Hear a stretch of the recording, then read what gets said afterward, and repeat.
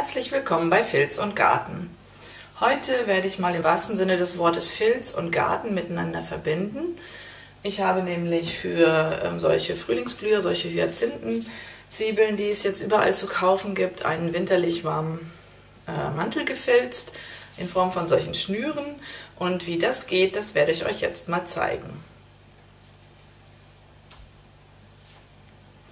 Man benötigt dazu etwas Schurwolle im, vom Vlies oder vom Strang. Ich habe diesmal hier was vom Vlies genommen und natürlich Seifenlauge.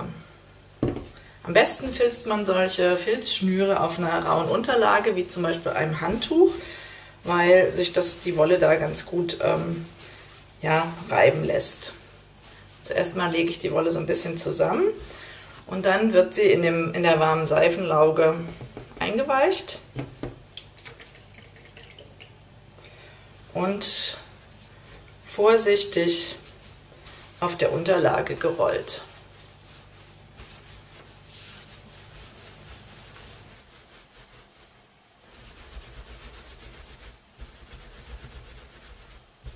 Vorne und hinten lasse ich ähm, erstmal die Wolle trocken, weil an dieser Stelle kann man dann ähm, die Schnur verlängern, also das nächste Stück an, an äh, Filzen.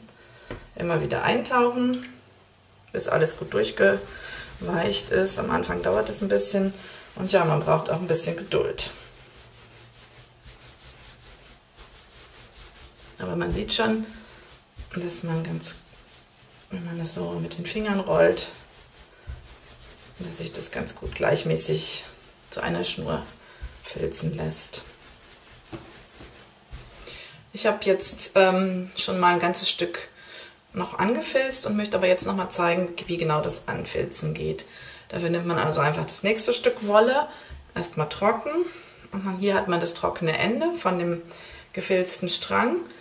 Dann weicht man auch diese Wolle wieder ein in der Seifenlauge und verbindet jetzt zunächst mal hier das Ende mit diesem, indem man das hier so zusammenlegt und ganz vorsichtig ähm, rollt wieder auf dem Handtuch. Dabei muss man wirklich ein bisschen Geduld haben, der Wolle Zeit lassen, ähm, sich zu verbinden. Es ist also natürlich am Anfang erstmal ein bisschen dicker an dieser Stelle, aber das ähm, wird im Laufe der, des Filzvorgangs dann auch dünner. Auch da nochmal wieder eintauchen.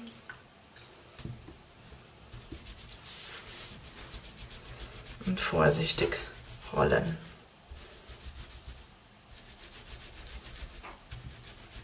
Je nachdem, ähm, wie dick oder wie dünn man diese Filzschnur haben will, muss man eben länger ähm, filzen und rollen. Also man könnte auch das noch sehr viel dünner machen.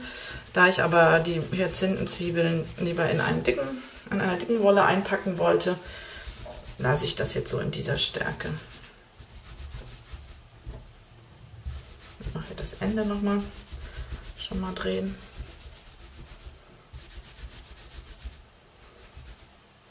Und auch hier lassen wir wieder das Ende erstmal trocken, um das nächste Stück ansetzen zu können. So, jetzt sieht man, dass es hier in der Mitte ein bisschen dicker ist.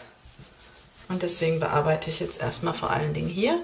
Und hier drücke ich dann auch ein bisschen mehr. Wenn, wenn man dann spürt, dass sich die Wolle miteinander verbunden hat, dann kann man da auch ein bisschen Druck ausüben beim Rollen und ja, man merkt dann auch, wie sich das unter, unter den Fingern verteilt und dünner wird und, und mehr zu einem gleichmäßigen Filzstrang.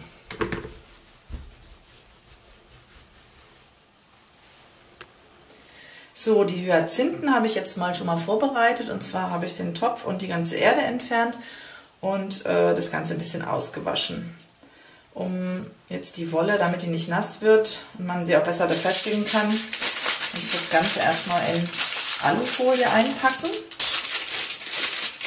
und dann den Wollfaden befestigen. Dass die Hyazinthe jetzt keine Erde mehr bekommt, das sollte ihr eigentlich nichts machen. Die wird wahrscheinlich trotzdem aufblühen, weil sie jetzt so viel Kraft in ihrer Knolle hat. Und ja, wenn sie dann aufgeblüht ist, dann kann man sie immer noch später in, in den Garten pflanzen. So. So, dann braucht man noch eine Heißklebepistole, damit man so ein bisschen den Anfang und auch vielleicht das Ende und auch zwischendrin mal festkleben kann. Also ich mache jetzt hier ein bisschen Heißkleber drauf schon mal auf die Folie und fange mit dem einen Ende der Schnur, die natürlich jetzt erstmal zwischendrin, also nach dem Filzen getrocknet werden muss, ähm, an das hier unten zu bekleben.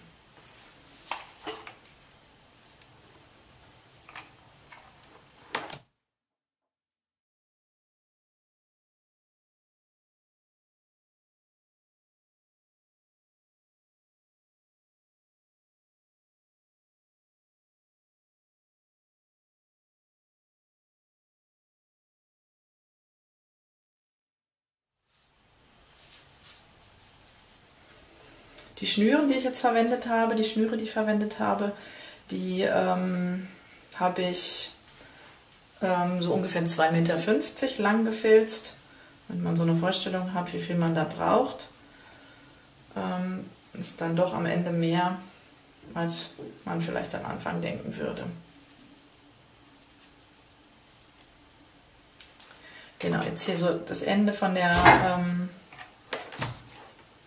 von der Wolle werde ich dann unten drunter einfach stecken. Man kann es natürlich auch festkleben, aber man kann es auch so be befestigen. Ja, und so sieht es dann aus. Also, wenn man die Hyazinthen, so mehrere Hyazinthen eingepackt hat, wirkt es natürlich am schönsten. Eine muss ich noch. Ähm, man kann sie jetzt einfach so als Deko auf den Tisch stellen oder in die Fensterbank, auf die Fensterbank. Oder was ich auch sehr schön finden würde, ist, wenn man hier eine Schnur um den Hals bindet und das Ganze als Kugel einfach aufhängt, auch ins Fenster zum Beispiel, so in verschiedener Höhe. Das ist äh, bestimmt eine schöne Idee. Und ich hoffe, es hat euch gefallen und ich würde mich freuen, wenn ihr beim nächsten Mal wieder dabei seid. Bis bald!